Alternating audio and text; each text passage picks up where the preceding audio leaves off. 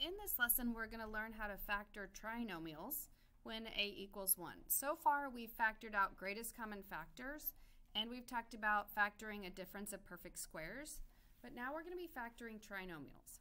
Now, before we start, I want to practice a skill. What numbers multiply to give you 20 and add to give you 9? This is kind of a game of guess and check. You want to think of all of the factor pairs for 20. So 1 times 20 would give you 20, but that would add to give you 21. 2 times 10 gives you 20, but adds to give you 12. 4 times 5 multiplies to give you 20 and adds to give you 9. So the number, the factor pair that you're looking for is 4 and 5. Now what numbers multiply to give you 30 and add to give you negative 11? Well, so if two numbers multiply to give you a positive, you know that they're either both positive or they're both negative. Since this factor pair adds to give us a negative, they must both be negative.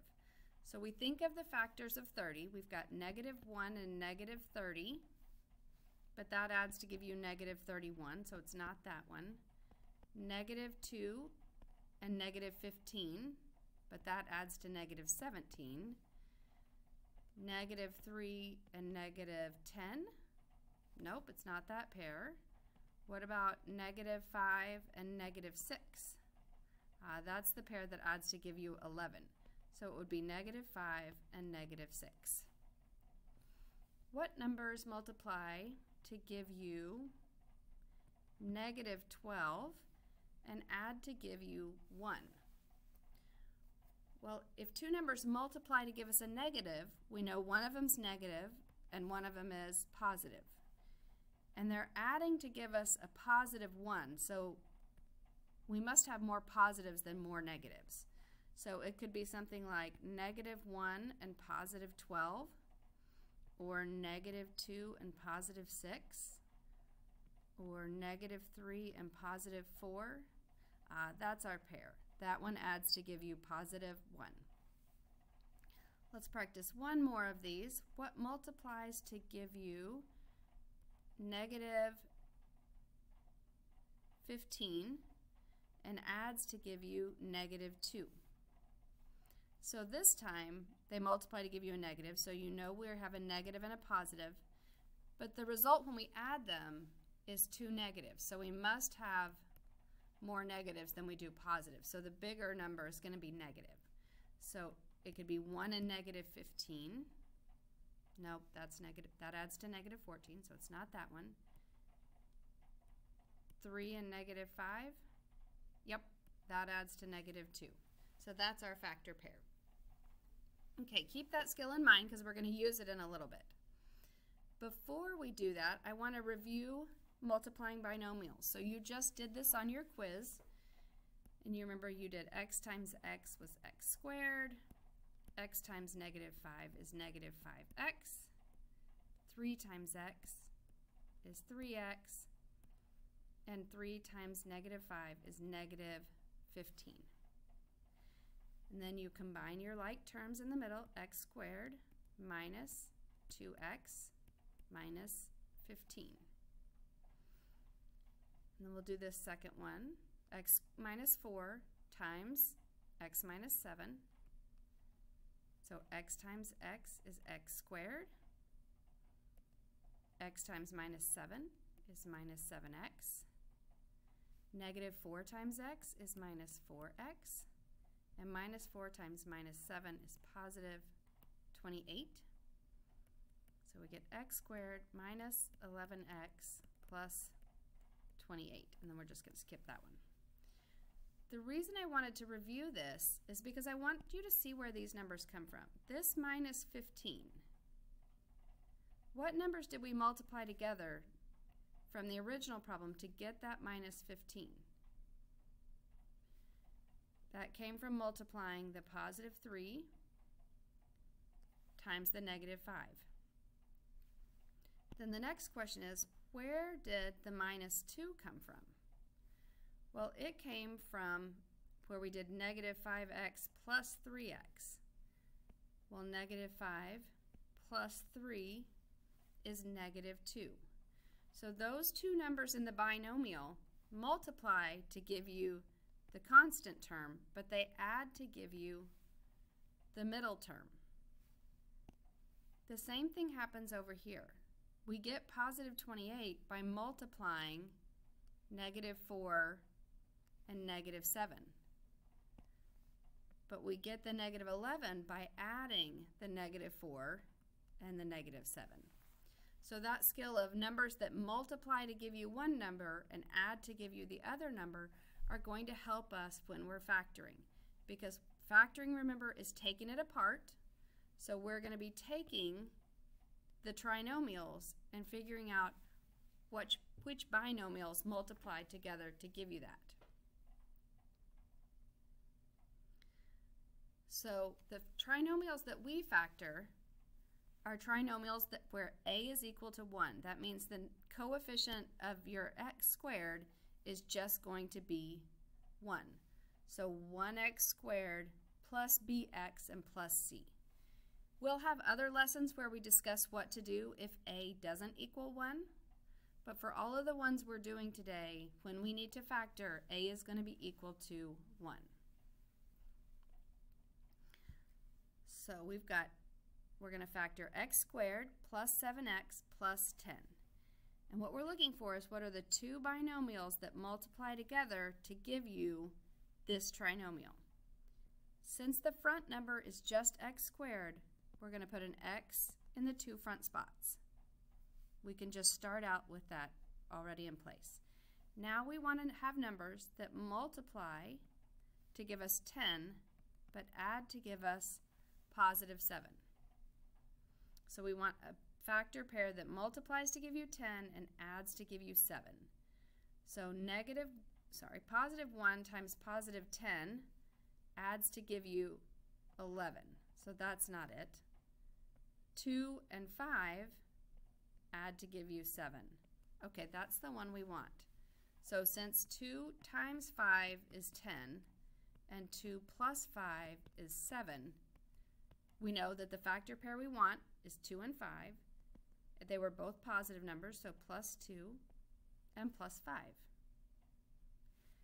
These are the two binomials that when we multiply them together, we get x squared plus 7x plus 10. Okay, let's look at the next one. It says factor x squared minus 9x plus 18.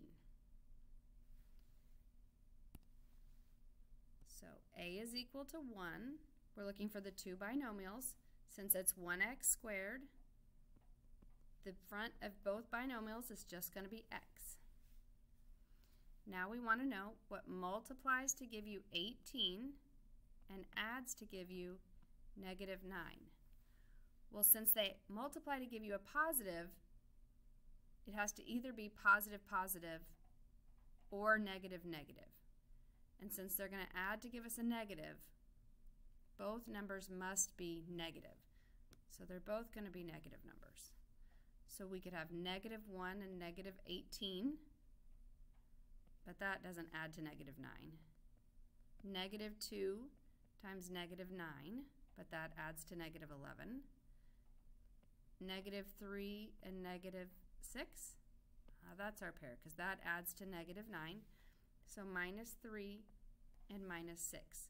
Now there's always the question, does it matter where I put the minus 3 and the minus 6? And the answer is no.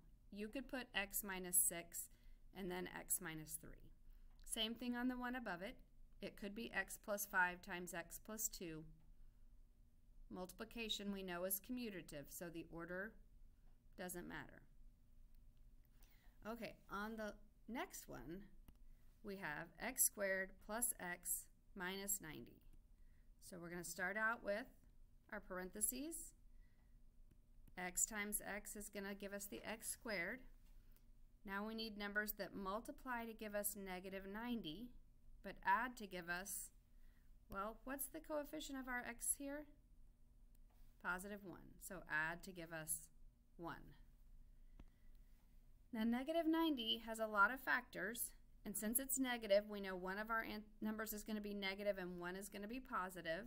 So it could be something like negative 1 and positive 90. But that's 89. That's way off. I notice that since it ends in a 0, that 10 is going to be one of the factors. 10 times what gives me 90? 10 times 9? So what if it's negative 9 and positive 10? What does that add to give me? Positive 1. So that's my factor pair. So we're going to put the minus 9 in one of the parentheses and the plus 10 in the other set of parentheses. You'll notice that for these right now we're not solving, we're just factoring. So we are just pulling these things apart. Like when you write 15 is equal to 3 times 5 and that's all you do. You're just pulling it apart. Okay, now remember that we said the other day when I taught you about greatest common factor, you always take the greatest common factor out first. There might not always be a common factor, but we always look. On the ones we just did, there was no common factor. When you look at those problems, x squared plus 7x plus 10, no common factors. On x squared minus 9x plus 18, the 9 and the 18 have a common factor. The x squared and the 9x have a common factor. But all three of them have to share the common factor. So none of those had one. This problem, however, 2x cubed plus 22x squared plus 56x, this one has a common factor. And so we're going to look for numbers and we look for variables. Sometimes it's one, sometimes it's both. This one, they have a 2 in common because all of those numbers are even, and you have an x cubed, an x squared, and an x, so they all have an x in common. So we factor out the 2x first, and we're left with x squared plus 11x plus 28. Now that we're ready to factor the trinomial, you see that your coefficient of x squared is, is back to being a 1. So we're ready to factor. I'm going to leave the 2x here in front. To get x squared, we do x times x. Now we need numbers that multiply to give us 28, but add to give us 11. How about 2 and 14? Nope. How about 4 and 7? Yes. So x plus 4 and x plus 7. Now you know we have to throw a word problem in here, so let's look at this rectangle. This rectangle has an area of x squared plus 10x plus 16. And we want to know what the length and the width of the rectangle are. Well, we know that area is length times width. So if I have that the area is x squared plus 10x plus 16, if I factor that, it should give me the length and the width. So what multiplies to give me 16? 1 and 16, 2 and 8, and 4 and 4. Which pair adds to give you 10? 2 and 8. So x plus 2 and x plus 8. So it looks to me like the length is the long side here. So I would say the length is the x plus 8 and the width is the x plus 2. So the length and the width are x plus 8 and x plus 2. Now what if they asked us about, about the perimeter?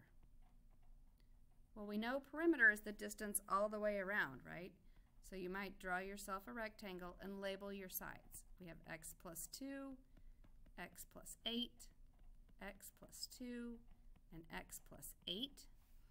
So if we add up all those sides, the perimeter would be equal to, well, x plus x plus x plus x, that would be 4x, plus 2 plus 8 plus 2 plus 8 would be 20. So the perimeter would be 4x plus 20.